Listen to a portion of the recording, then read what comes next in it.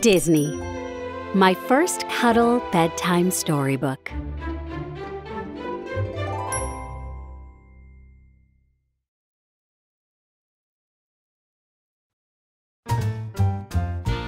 Disney. Mickey and Friends. Chef Mickey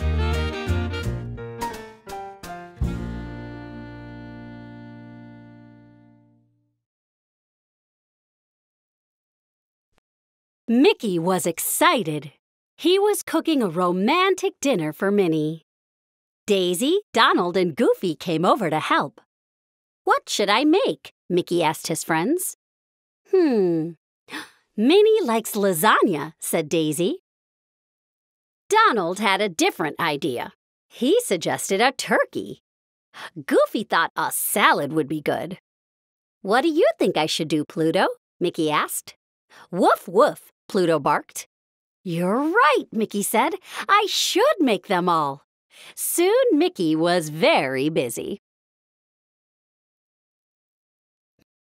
Mickey looked at the clock. It was getting late. He still needed to set the table. I can help you, Mickey, Daisy said. Daisy pulled out the plates and glasses. Then she set the table, decorating it in all Minnie's favorite colors. Meanwhile, Goofy prepared a special fruit punch. He picked up the punch bowl and headed to the dining room. He didn't see Donald walking by with the salad. Crash! Goofy and Donald smacked into each other. Goofy fell into Daisy's beautiful table. Mickey raced into the dining room. He couldn't believe his eyes. Everyone's hard work was ruined. I'm sorry, Mickey, Goofy said. I didn't mean to ruin everything. I just wanted to help. Me too, Donald said. I wanted everything to be perfect. Mickey looked at his sad friends. It's okay, he said. I know it was an accident. They began to clean up the mess. Mickey was so busy cleaning, he forgot about the food. Everything got overcooked. The dining room was still a mess, and the food was ruined too. What was Mickey going to do? Just then, Minnie walked through the door. Hi, Mickey, she said. Minnie looked around the messy room. Mickey was holding a burned turkey. Her friends were covered in food, and the table was a mess. Oh, Mickey, what happened? Minnie asked. I had everything planned out, Mickey told Minnie. I tried to make all your favorite dishes. I even asked Daisy, Goofy, and Donald to help. Uh, but then Goofy dropped the punch and Donald dropped the salad. I guess things got out of control. It's okay, Mickey, said Minnie. What's important is the time we spend together. Aw, shucks, Minnie, Mickey said. Thanks. But what are we going to do about dinner? Minnie smiled. I have an idea, she said. Mickey looked at Minnie and smiled. He had learned an important lesson. As long as he was with Minnie, nothing else mattered. Mickey handed Minnie a slice of pizza. You're right, Minnie, he said. This is the perfect night after all.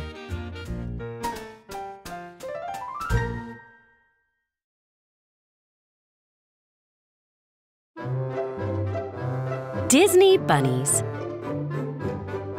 I love you, my bunnies.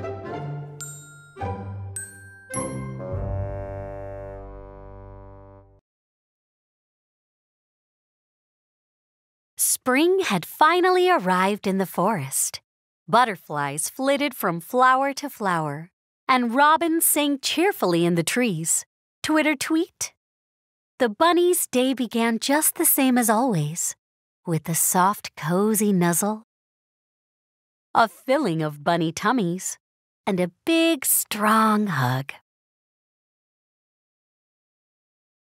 Soon, the bunnies hopped off to play. Mama does so much for us, Thumper said. Let's make her a basket. Thumper and his sisters hopped to it, searching high and low for twigs. Scritch, scratch. The bunnies wove the twigs together.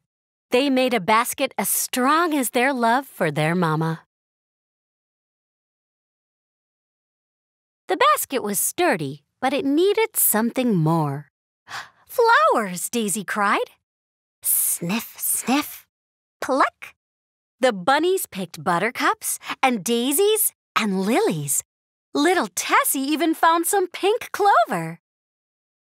They filled the basket with all the sweet smelling flowers and made it beautiful for their mama.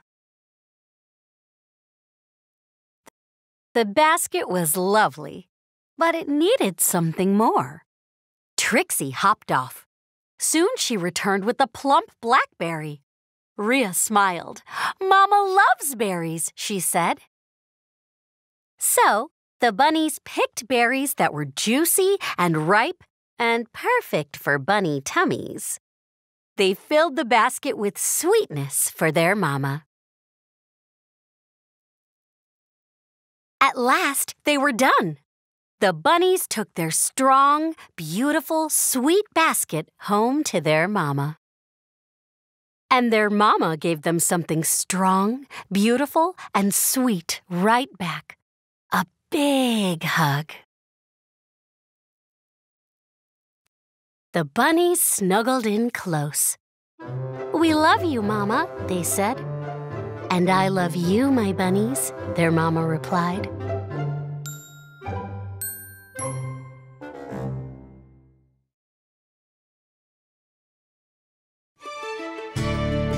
Disney.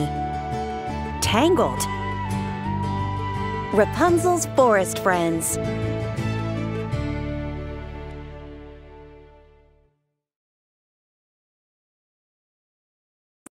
Rapunzel was having an amazing day. Everything around her was a discovery. She stopped to smell some flowers and picked a few more to add to her bouquet. These are so beautiful, she exclaimed. What are they called? Ah! A branch in the bushes had started to move. Rapunzel scrambled to her feet and hid behind Flynn. A small creature with long ears hopped out of the bushes. What is that? she cried. Rapunzel, meet the fiercest animal in the forest, a little bunny rabbit, Flynn said. A whole family of bunnies hopped out of the bushes and began playing together. Rapunzel peeked at them from behind Flynn. You're telling me that a tough cookie like you is afraid of a couple of fuzzballs? Flynn asked over his shoulder. Rapunzel didn't want Flynn to think she was afraid, so she slowly made her way closer to the bunnies and knelt down on the grass. They seemed just as curious about her as she was about them. Soon, she was surrounded by new furry friends. A chipmunk scurried out of its hole, and birds flew over to join the little group. They were playing hide and seek. Rapunzel had only been out of her tower a short while, and she was already having the time of her life. But Flynn wasn't having as much fun. Come on, Rapunzel called to Flynn. Don't stand there, go hide. It's my turn to count. Flynn laughed at the idea. Uh, no. I don't do games, he said. The animals wanted Flynn to play too. The birds and the chipmunk brought over some leaves and twigs to help him get started on a hiding place. Then the bunnies and the deer tried to help. They wanted to build him a hiding place, but the animals had trouble covering him completely. And there was no hiding the scowl on Flynn's face. Never mind, Rapunzel said to her friends. I guess he really doesn't want to play. And with that, she led the animals away for another round of games. Rapunzel called back to Flynn, If you change your mind, we'll be over here having a wonderful time. Minutes later, she hurried back to show Flynn the new animal she'd found. I had no idea bunnies could grow so big, Rapunzel said to Flynn. That's no bunny, shouted Flynn. That's a bear. Then he spotted the bear cub's mama. In a panic, Flynn turned and scrambled up a tree. Rapunzel stood below with her two new friends. She didn't understand how Flynn could be afraid of such adorable animals. Oh, great, now you're hiding, Rapunzel teased. I guess you want to play with us after all. Flynn sighed. He started climbing down the tree. All right, fine, I'll play, he said as his feet hit the ground. You'll see, I'm excellent at hiding. He turned. Rapunzel was gone. So were the animals. I'm sure you are, came Rapunzel's voice from the bushes. But you'll have to find us first.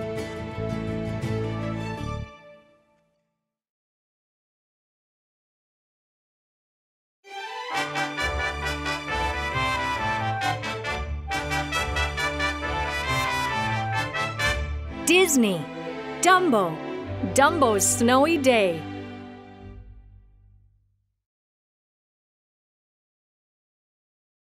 One chilly day, the circus animals were on their way to a new town.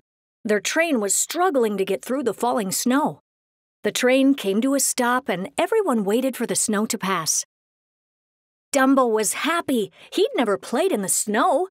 Mrs. Jumbo gave him a gentle nuzzle Soon Dumbo got the hang of walking through the snow. All morning, Dumbo and his mother played in the snow. Suddenly, Dumbo slid down a steep hill, ending in a cliff. When Mrs. Jumbo reached the bottom of the hill, she realized she couldn't get back up. You will have to fly off and get help, Mrs. Jumbo said. So off Dumbo flew as fast as his ears would take him. Dumbo raced to the train.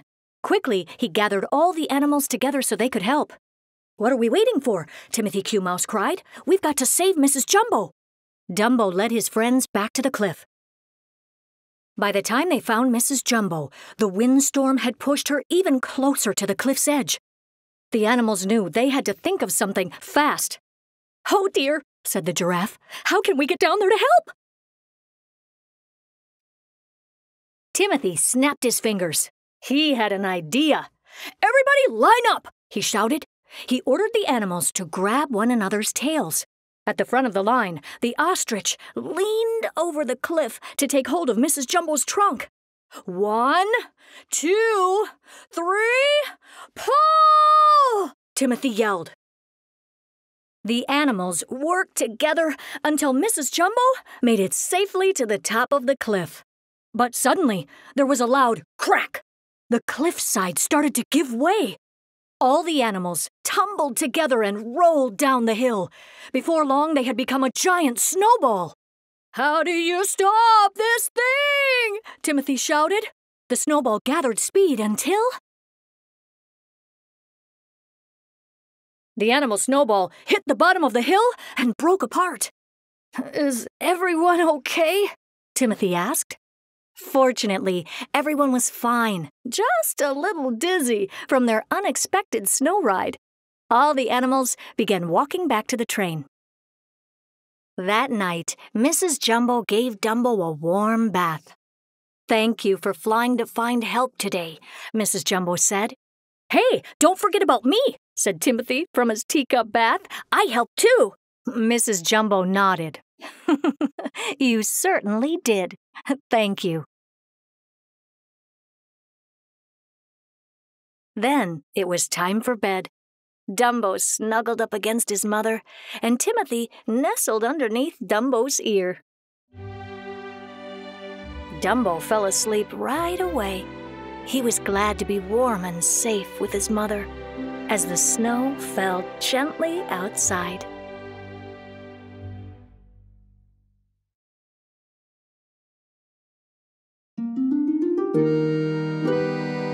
Disney.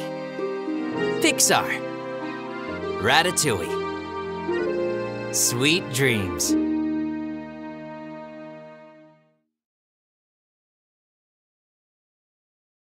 Remy the Rat was very happy as the chef of his own little bistro. Late one night, Remy's brother, Emile, had just finished dinner there. I'll be up late cooking for the celebration tomorrow, Remy said. So sweet dreams, and no more eating tonight. Emile was very excited for the party Remy was having at the restaurant the next day. Remy was hard at work at the restaurant. The smell of delicious food wafted down into the sewers, finally drifting past the sleeping Emile's nose.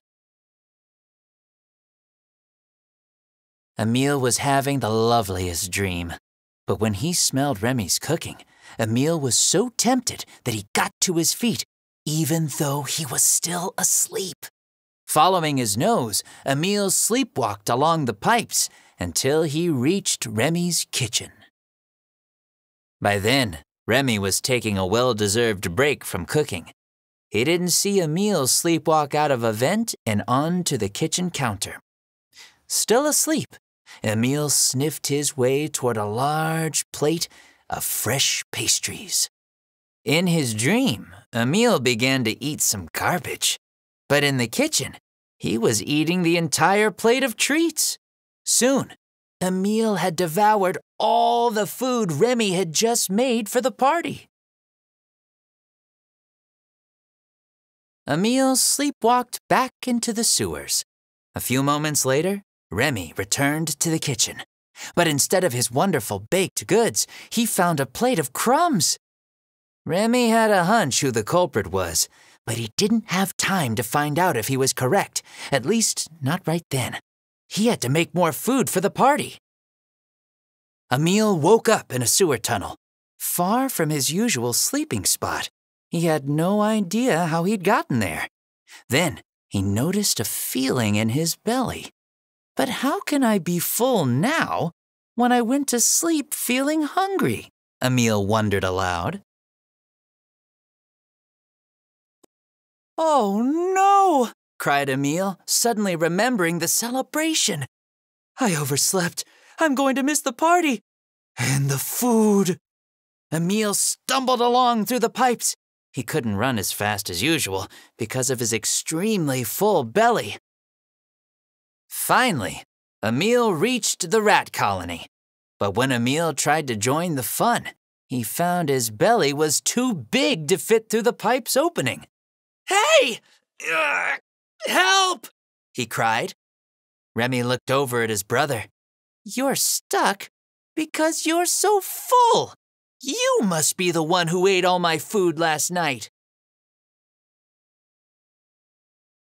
Uh, I did?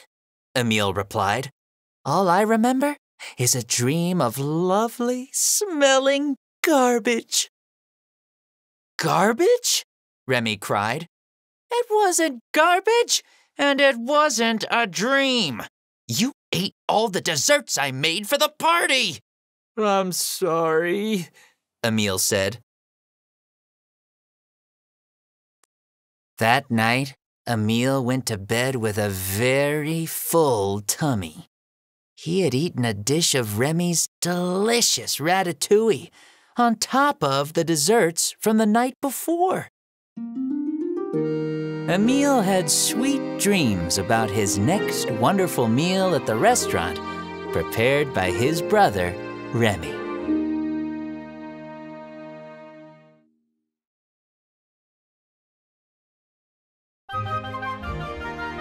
Disney Winnie the Pooh Good night, Roo.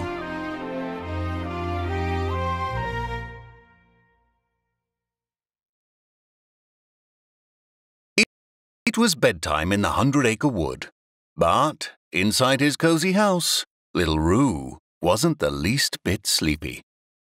I don't want to go to sleep, Mamma, he told Kanga. Please tell me a bedtime story. All right, dear, Kanga said, and she began to tell Roo a story. Kanga finished her story and said, Good night, little one. But I'm still not sleepy, Mamma, said Roo. Please tell me another story. So Kanga told another bedtime tale. But even after she'd told every story she knew, Roo was still wide awake. Oh dear, Kanga said with a sigh. I'll be back in a moment, Roo. Then she hurried off to seek help from her friends. The first ones to arrive were Pooh and Piglet. Pooh began to tell a tale about a land of honey. Are you sleepy now, Roo? Pooh asked hopefully. Nope, Roo exclaimed as he hopped out of bed. Soon Roo was back in bed with a glass of warm milk. Shall I try my story next? Piglet asked uncertainly. Please tell it, Piglet, Roo begged. Piglet began to tell a story about bravery. Just then, something crashed into the room, but it was only Tigger, with Rabbit and Kanga right behind him. Ooh, Tigger cried. Did I hear that somebody needs a sleepifying story? Me, Roo cried happily. Tigger told him a story about a great bouncing race. Just then, Eeyore wandered in. That's not a proper bedtime story, Rabbit complained. Now stand back, all of you, and let me take care of this. You're going to tell me a story, Rabbit? Roo asked. Rabbit began a story about a hard-working rabbit who grew lots of vegetables. Before Rabbit could finish his story, Owl hurried in. I hear someone is in need of a story, he said. Thank you, Owl, Kanga said, although I'm beginning to fear that nothing will convince Roo to fall asleep. Once upon a time, Owl said. He began to tell a very boring story about a handsome and educated owl. Roo laid back, wondering when Owl would get to the good part of the story. He closed his eyes and waited. Owl's story continued for quite some time. Before long, Owl had to raise his voice to hear himself over the chorus of all his friends snoring. Well then, Owl interrupted himself at last. He pulled the covers up to Roo's chin. Good night, Roo.